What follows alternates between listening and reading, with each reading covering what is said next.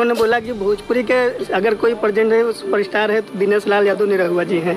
आप किसे मानती हैं सुपरस्टार पहला? भोजपुरी भोजपुरी की? हाँ इस समय। मैं पहले भी आज भी और हर समय मेरे लिए सबसे बड़े स्टार मुझे जो सबसे फेवरेट लगते हैं मेरे रवि किशन जी हैं। सबसे फेवरेट उनका परफॉर्मेंस मुझे सबसे अच्छा लगता है।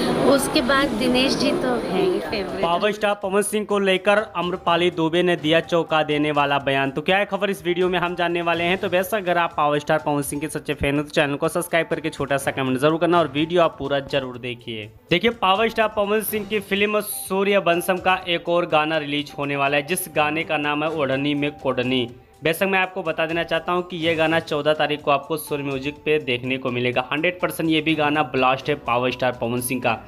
दूसरी सबसे बड़ी अपडेट आपको बता देना चाहता हूँ कि पावर स्टार पवन सिंह को लेकर अगर देखा जाए तो अम्रपाली दुबे ने बहुत बड़ा खुलासा किया। उन्होंने कहा कि उनके नज़र में अगर देखा जाए तो भोजपुरी में सबसे बड़े अगर कोई हैं स्टार तो वो रवि किशन है। तो वैसा का हंड्रेड परसेंट ये बात सही है, क्योंकि रवि किशन के बाद दिनेश लाल यादव हैं।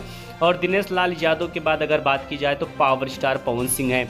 लेकिन वहीं पर बात की जाए तो अमरपाली दुबे ने एक बहुत बड़ा खुलासा किया है। खुलासा ये किया है कि पावर स्टार पवन सिंह की आवाज़ को लेकर अमरपाली दुबे ने सीधा ही मीडिया पे बताया है कि दिनेश लाल यादव जब भी पावर स्टार पवन सिंह का नया गाना रिलीज़ होता तो उसके वो दीवाने हो जाते हैं। तो वैसा पावर स्टार पवन सिंह का बहुत ही बड़ा अपडेट आप लोग के बीच में आने वाला है। तो वैसा इस पर आपका क्या राय चल रहा है? कमेंट ज़रूर करिए आप।